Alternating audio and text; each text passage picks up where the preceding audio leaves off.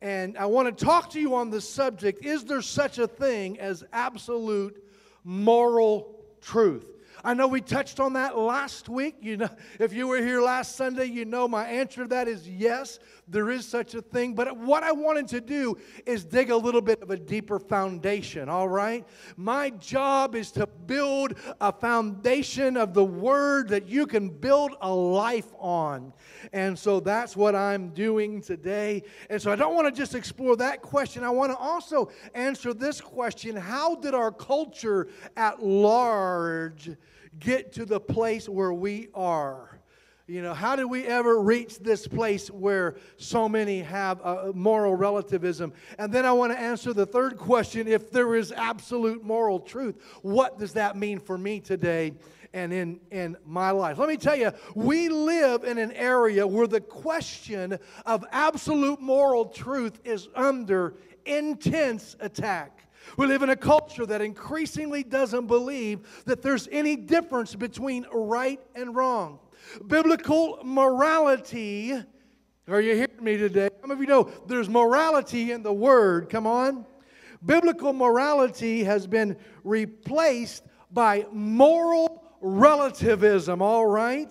And the list of social issues with the moral overtones that continues to be debated in our culture, it's continuing to grow. People are divided, and the debate, they debate over the following topics. And all of these topics are, are moral issues. Issues like is abortion right or wrong? Is it okay for the government just to let people die and not offer them treatment when that's available to them? And what about euthanasia? You know, people who aren't productive in society. And is an open marriage okay as long as if all the uh, adults are all consenting? And is homosexuality right and wrong? And many, many other such, uh, uh, you know, uh, items like that. And the list will go on. And let me tell you, all of those issues that I spoke of are issues issues of morality, right?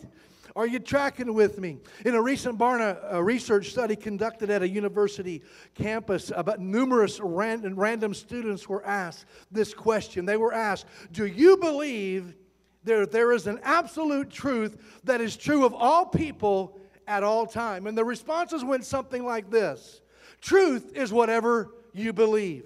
There is no absolute truth. If this if there were such a thing as absolute truth, then how could we know what it is? And unfortunately, that study reflects the attitudes of many Americans today. Other studies have shown that 91% people in their teens today don't believe in absolute truth, and 66% of adults in the United States of America don't either. Instead, most people believe in an existential concept of truth. Right and wrong has become subjective, reduced to someone's opinion or personal perception. So let me ask you this question today What should you believe as a Christian? And are you able to back up that belief with the Word of God. Come on. Are you understanding just how important this is? Because let me tell you, our world is going to go in a downward spiral as long as people continue down this path. And let me tell you, it needs to be is there absolute moral truth? You need to be saying, well, yeah, I heard my pastor say that. Let me tell you something, that is not enough. Come on.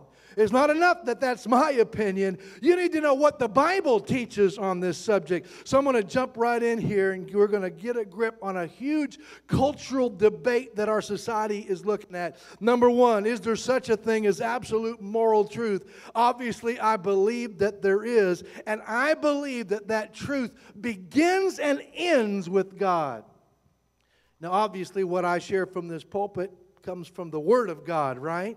But before I give you some verses to understand and to look at today, which I'm going to do in just a moment, I want you to know that even logic, tell your neighbor, logic is good. Even logic dictates that there is moral, absolute moral truth.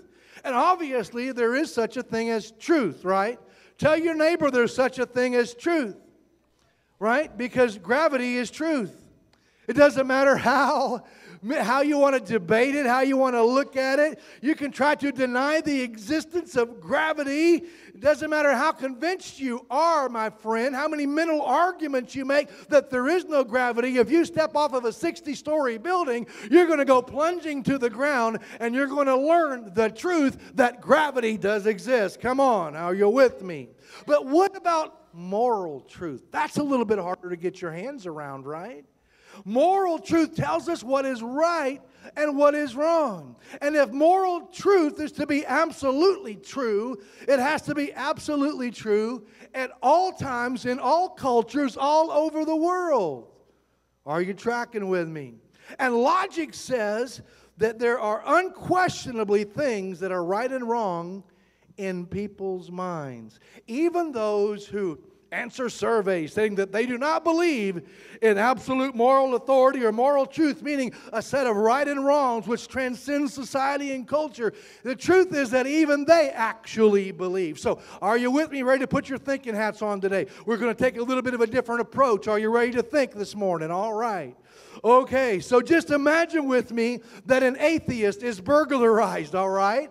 He does not believe in God. He doesn't believe in the Bible. He doesn't believe in absolute truth. But guess what? Someone came into his home and took his stuff, and the atheist comes home and he finds all his stuff taken and his belongings scattered everywhere. Guess what?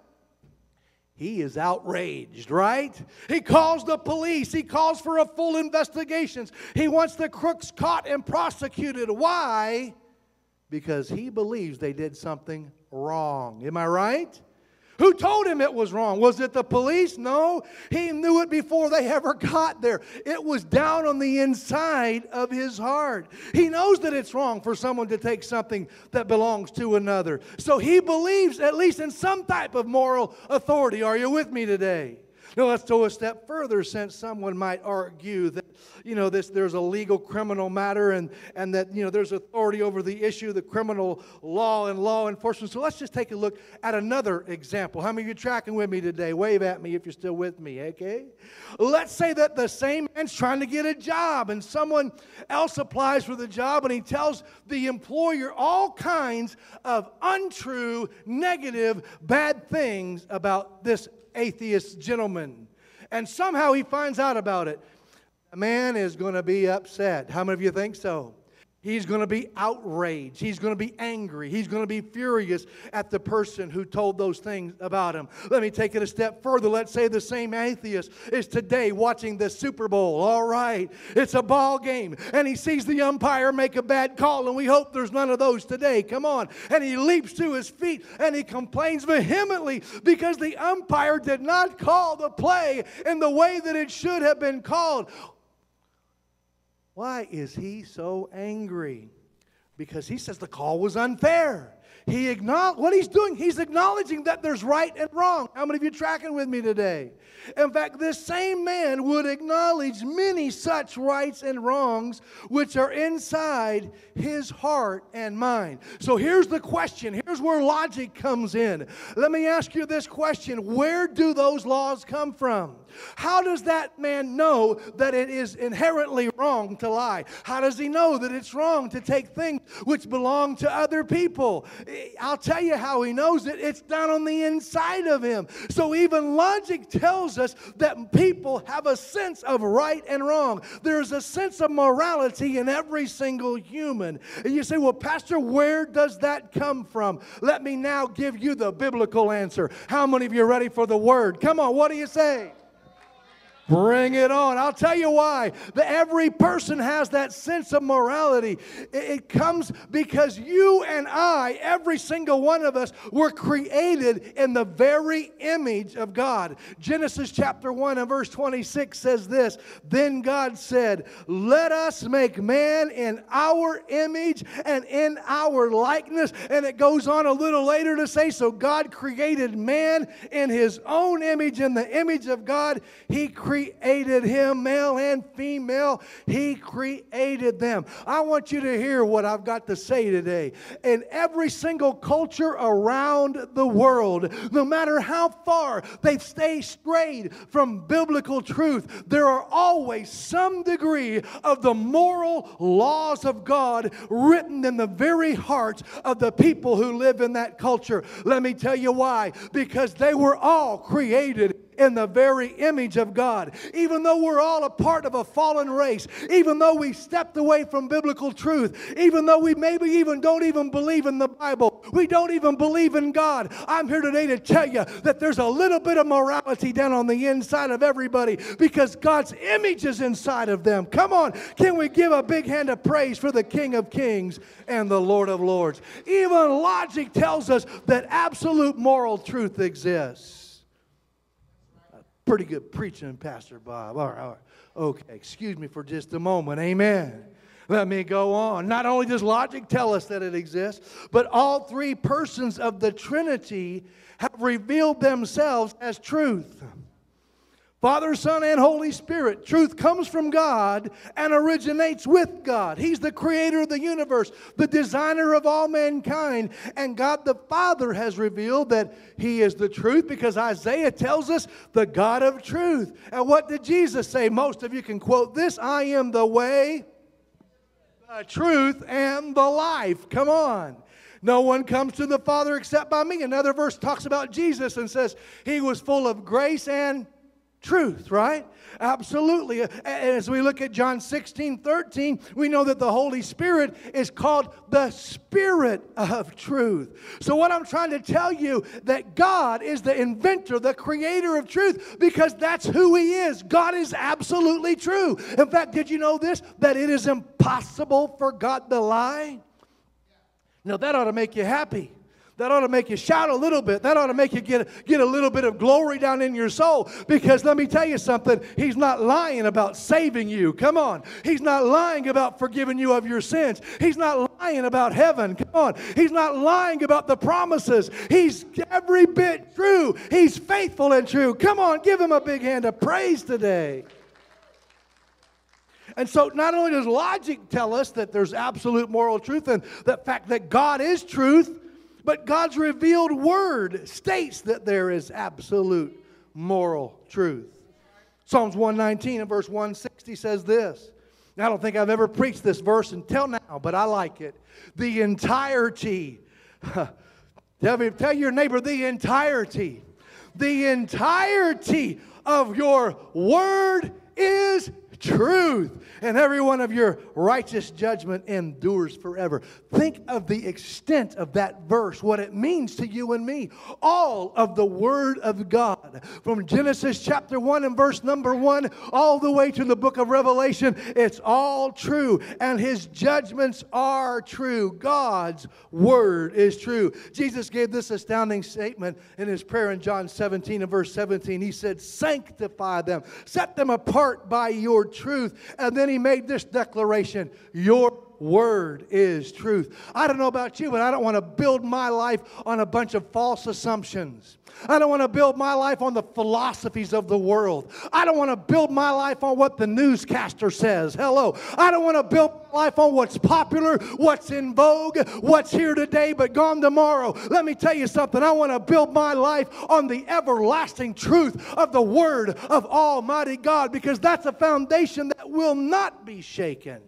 The word is true. Second Timothy tells us that all scriptures given by inspiration of God and is profitable for doctrine, for reproof, for correction. And I love the last phrase for instruction in righteousness. To be instructed in righteousness means uh, that, that, that is to be trained or to make one understand which path they should go down, what is right, what is wrong, how you should live. Oh, I'm just here to tell you, to, uh, y'all today that God is good. All the time. All the time. God is good. Come on. God is so good. We started looking at that in Sunday school today. I don't know, we read about six or seven verses how God is good right in class today. God is so good. God is so kind. God is so wonderful. God is so loving. God so has your best interest at heart. Oh, that He wrote it all down and He put it in a book. Come on. So that we might know how to live, so that we might know how to walk in this world. So we can have the best life possible.